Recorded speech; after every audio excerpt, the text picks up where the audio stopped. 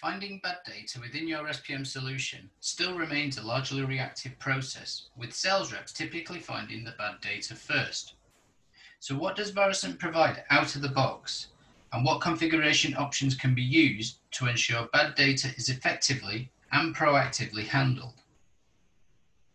Within the normal method in which data is processed, the start is when data is imported, and at the end, the bad data is either visible or it has been resolved. But in between, there are three typical steps in which bad data is found or fixed. And it's these three areas where data solutions can be applied. So let's take a look at each of these three areas in turn. When considering core data that might be bad, Varicent provides out-of-the-box functions where it will check if the core data is suitable and correct. Although to handle bad data more effectively, how can the data not only be checked but also cleansed? So here we can see a set of transactions in which key data is missing and duplicate records exist, both very common. By using scripts within the Varicent solution, we can not only check for different scenarios, but when found, missing data can be added and duplicate records can be removed.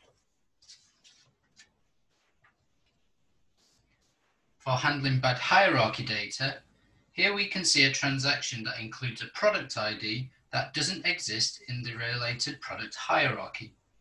And so to proactively handle this scenario, data transformation scripts can be used to identify such scenarios and write additional informa audit information which administrators can then use to get the bad data fixed. And finally, development can be used to create processes and functions as a way of fixing the bad data with an emphasis on proactively informing the administrators when bad data has been found, enabling the bad data to be routed to its correct audience, providing the ability for bad data to be fixed, and including an approval checkpoint before reprocessing. So to summarize, the key takeaways to consider when developing data solutions for bad data is number one, make sure the data quality is checked and it can be transformed to make it clean. Number two, be sure to validate against hierarchies hierarchies and can it be transformed to support business scenarios? And finally, make sure self-service functions and processes are used to cleanse and resolve the data. That concludes this brief tutorial.